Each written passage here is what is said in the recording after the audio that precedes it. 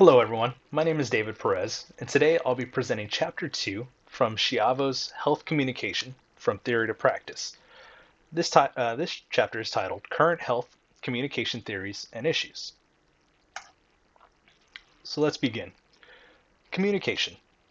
To understand health communication, we must first define communication. So what is communication?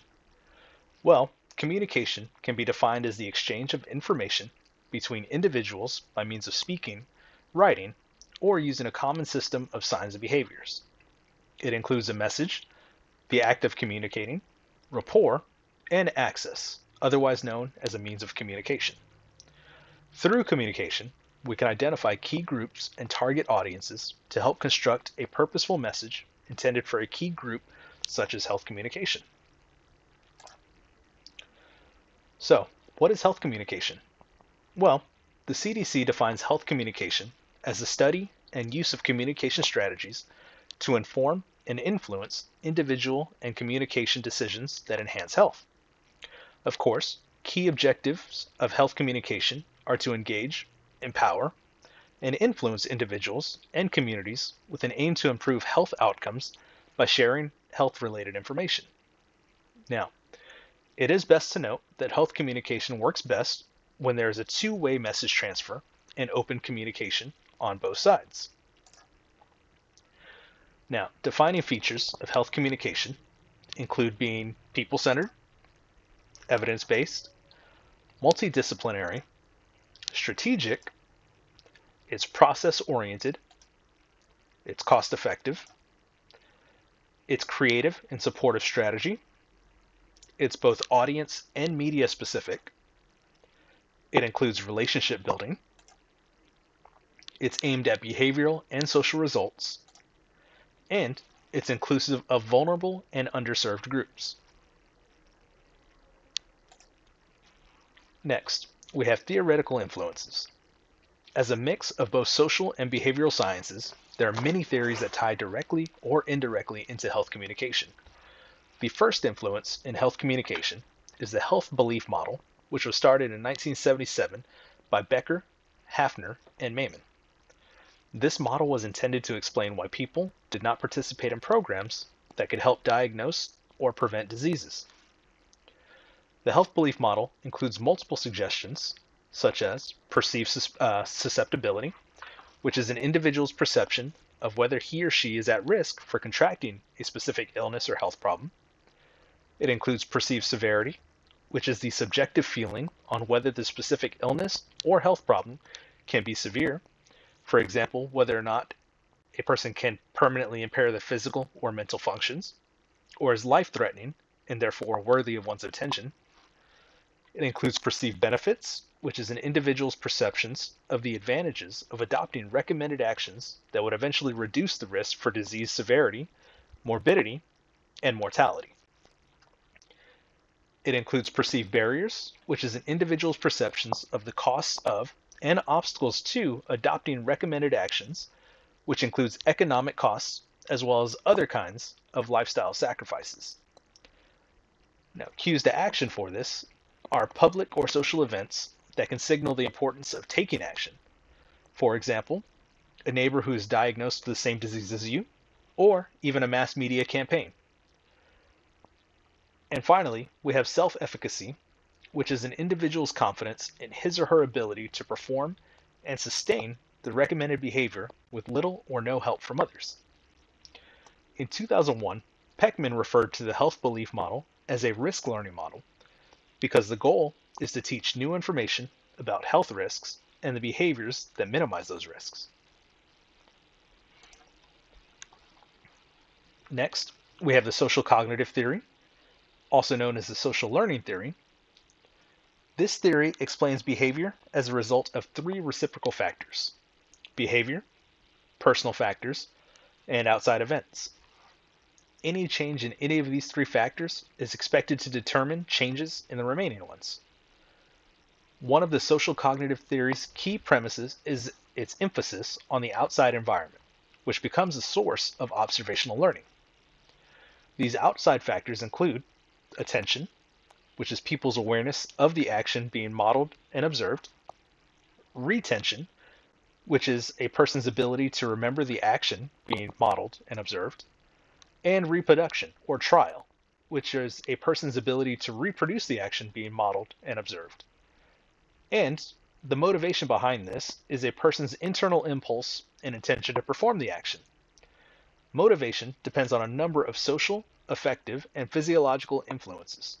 For example, the support of peers and family members to perform the action, and the knowledge that the action will improve physical performance, as well as the perception of self efficacy. Now we have the theory of reason action. This theory suggests that behavior performance is primarily determined by the strength of the person's intention to perform a specific behavior. It identifies two major factors that contribute to such intentions. One, a person's attitude towards the behavior. In general, attitudes can be defined as a positive or negative emotion or feelings of behavior towards a person, a concept, or an idea. And two, a person's subjective norms about the behavior. In the theory of reason action, subjective norms are defined as the opinion or judgment, positive or negative, that loved ones, friends, family, colleagues, professional organizations, or others may have about a potential behavior.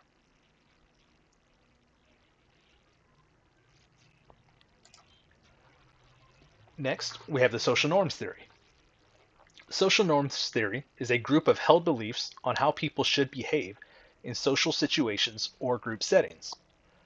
Several authors have developed social norm theories. Among them, Beccari in 2006 developed a new theory of social norms that challenges key assumptions from the field of social sciences by arguing that people conform to social norms as an automatic response to cues that they receive in a specific social situation. According to this theory, too much emphasis is placed on the rational process of decision making because decisions are often made without much deliberation. And this is a result of people's understanding of social expectations, or, in the case of moral norms, as an unconditional response to emotional reactions in, uh, to a situation. The convergence theory. This theory emphasizes the importance of information sharing mutual understanding, and mutual agreement on any collective group action that would bring social change. It's based on the perspective that individual perceptions and behavior are influenced by the perceptions and behaviors of members of the same group, such as members of professional associations, colleagues, and family members, and by people in one's personal network, such as peers, friends, or personal or professional acquaintances. This theory is characterized by three distinctive features. First, information is shared using a uh, participatory process in which there is no sender or receiver, but everyone creates and shares information. Participation or participants in this process include individuals, community groups and organizations, and different kinds of institutions, such as professional associations, churches, and schools. Second, Communication emphasizes individual perceptions and interpretations of the information being shared. It, um, it encourages an ongoing dialogue and it fosters a mutual understanding and agreement on common meanings. And three, communication is horizontal and involves two or more participants. In a horizontal model of communication, all participants are equal and they aim to reach mutual agreement that may stimulate a group action. Now we have intergroup theory and AUM theory. Intergroup theory seeks to explain intergroup behavior within the context of communication and decision-making settings and may provide useful constructs for the development of intercultural communication interventions and message design strategies. AUM, or Anxiety Uncertainty Management Theory, assumes that at least one person in an intercultural or group encounter is a stranger. This theory explains how intergroup communications effectiveness may be enhanced by the mindful management of anxiety and uncertainty levels of interaction. The anxiety uncertainty management theory also explores the roles of motivation, knowledge, skills, and cultural differences in effective communication, as well as people's ability to manage anxiety and uncertainty. And finally, we have the hoped for outcome, behavioral change. This is also known as the trans-theoretical model. It states that behavioral change is a process that goes through different stages or steps. Each stage describes different levels of motivation or readiness to change. The model identifies five stages of change. The first is pre-contemplation. This is where individuals have no intention, no intention of adopting a recommended health behavior, but they are learning about it. Two, contemplation. This is where individuals are considering adopting the recommended behavior. Three is decision. This is where people decide to adopt the recommended behavior. Four is action. This is where people try to adopt the recommended behavior for a short period of time. And finally, we have five, maintenance, in which people continue to perform the recommended health behavior for a long period of time, which is considered to be at least six months or over, and ideally, they incorporate it into their routine and lifestyle. Thank you.